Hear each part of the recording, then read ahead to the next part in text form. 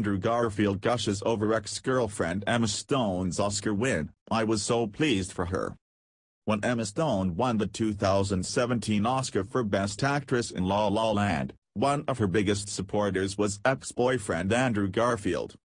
It's beautiful to see someone you love being acknowledged like that, the actor, 34, told the Evening Standard magazine in an interview published on on Thursday, December 14. I was so pleased for her. Check out Hollywood's Friendliest Exes. Despite their split in 2015 after four years of dating, Garfield still often gushes over his former love. We care about each other so much, and that it's a given, that's kind of this unconditional thing, Garfield said on Vanity Fair's Little Gold Men podcast in January. There's so much love between us and so much respect, I'm her biggest fan as an artist.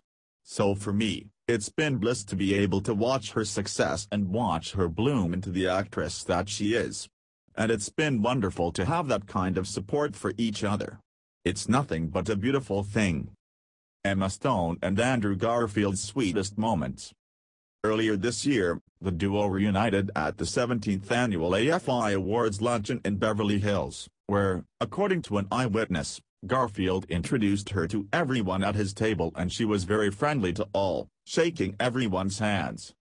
The Hacksaw or actor is still so fond of Stone, in fact, that he revealed in December 2016 that she would be his pick to be trapped on a desert island with. Emma Stone. I love Emma, he said to The Hollywood Reporter.